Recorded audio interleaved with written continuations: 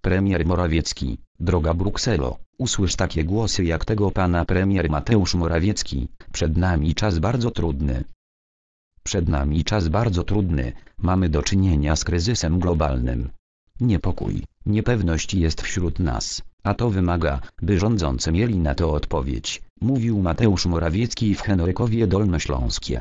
Premier przypomniał, że pandemia wciąż jest groźna, mówił m.in. o ataku Łukaszenki i Putina na wschodnią granicę Polski, wojnie w Ukrainie oraz inflacji. Odniósł się też do reformy sądownictwa. Szef rządu w ramach objazdu po kraju spotkał się w sobotę z mieszkańcami województwa dolnośląskiego. Podczas wystąpienia zwracał uwagę na zagrożenia, z jakimi się zmagaliśmy m.in. na pandemię koronawirusa. Może trochę o niej zapomnieliśmy, ale ona cały czas jest groźna, mówił, dodając, że w ostatnich dniach rejestrowane są wzrosty zakażeń. A jesienią, wiemy, jak dwa razy pandemia sprawiła nam bardzo duży problem, powiedział. Jak stwierdził, jest to pierwsza niepewność wisząca koło tego, co będzie dalej z tą pandemią, która trapiła nas przez dwa lata. Sytuacja na polsko-białoruskiej granicy Morawiecki przypomniał też wydarzenia na polsko-białoruskiej granicy. Jak mówił, był to atak Łukaszenki i Putina na wschodnią granicę Polski. Ona miała pęknąć, wlać się miały tu dziesiątki tysięcy sztucznie ściągniętych imigrantów z Bliskiego Wschodu i Polska miała być takim pasem transmisyjnym, a może duktem, traktem, przez który miały przechodzić te dziesiątki tysięcy ludzi, stwierdził. Wojna w Ukrainie i globalny kryzys rządu powiedział, że potem nastąpiło potężne uderzenie Rosji na Ukrainę i ogromna niepewność z tym związana. Przed nami oczywiście czas bardzo trudny, ponieważ mamy do czynienia z kryzysem globalnym, kryzysem od Stanów Zjednoczonych przez Chiny, Australię, Daleki Wschód, Bliski Wschód. Wszędzie widzimy bardzo wyraźnie, że rozwój gospodarczy jest zagrożony, mówił. To jest ten krajobraz, który nas otacza, i trzeba mówić prawdę. Nie można udawać, że wokół nas jest tylko różowo, bo to byłby nieprawdziwy obraz, dodał. Morawiecki powiedział, że zdaje sobie sprawę, że jest obawa o miejsca pracy, o to jak ten kryzys gospodarczy, który widzimy w różnych częściach świata, wpłynie na Polskę. Jak ta potworna inflacja, jak ta putinflacja wpłynie na życie gospodarcze, społeczne w Polsce, dodał. Niepokój, niepewność jest wśród nas, kontynuował. Dodał, ta niepewność wymaga tego, aby rządzący mieli jakąś odpowiedź. Żebyśmy odpowiedzieli możliwie konkretnie.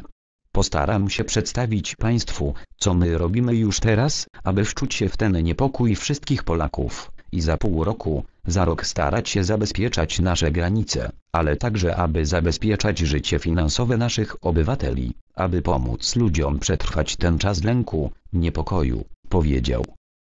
Inflacja, jakiej od ponad 20 lat nie widzieliśmy premier podkreślił, że zmorą dzisiejszych czasów jest inflacja, taka, jakiej nie widzieliśmy od ponad 20 lat. Wskazał, że symbolem walki z inflacją będzie złotówka, która powinna się umacniać. Przypomniał, że inflacja jest zjawiskiem globalnym, które zostało wywołane, jak mówił, przez Putina. Dodał, że rząd walczy z inflacją na kilka sposobów. Staramy się walczyć z inflacją w sposób bezpośredni, m.in. przez umocnienie złotówki. Euro było już po 4,7 zł, po 4,8 zł, zmierzało w kierunku 5 zł, ale odwróciliśmy ten trend. Dbałość o złotówkę to dbałość o to, aby inflacja była coraz niższa, aby zobaczyć trend malejący inflacji, powiedział premier. Stwierdził także, że bezpośrednim sposobem walki z inflacją jest także dbałość o finanse publiczne, które, pierwszy raz w 3RP są w porządku, są dobrze zarządzane. Walczymy z inflacją polityką fiskalną, polityką monetarną, regulacyjną, ale niech symbolem tej walki będzie złotówka, która powinna się umacniać, która chcielibyśmy, żeby się umacniała, powiedział Morawiecki. Dodał, że w ramach walki z inflacją rząd prowadzi także działania osłonowe, polegające m.in. na obniżce VAT na żywność do 0%, na obniżeniu VAT i akcyzy na energię, na gaz, na nawozy, a także dopłatach dla osób najmniej zarabiających. Obszar trzeci to działania interwencyjne. Interweniujemy na kilku rynkach. Dla tych, którzy mają kredyty zainterweniowaliśmy i kosztem banków, a nie budżetu państwa. Będą wakacje kredytowe w tym i w przyszłym roku po 4 miesiące, razem 8 lat, powiedział Morawiecki. Morawiecki, to ja namawiam banki do podniesienia oprocentowania stwierdził, że rząd interweniuje także w bankach w sprawie oprocentowania kredytów i że banki ostatnio podniosły oprocentowanie wskutek tych działań. To ja namawiam banki do podniesienia oprocentowania, zachęcam do kupowania obligacji Skarbu Państwa, to bezpieczna i transparentna inwestycja, ale jeśli ktoś nie chce ich kupować i chce trzymać pieniądze w bankach, to lokaty muszą być wyżej oprocentowane. Dlatego ciśniemy banki i będziemy je cisnąć, dodał premier. Zwrócił uwagę, że działania rządu kosztują. Przypomniał rządowe działania dotyczące nawozów, w tym dopłaty do ich zakupu w kwocie równej 500 zł na hapola i 250 zł na hałąk i pastwisk.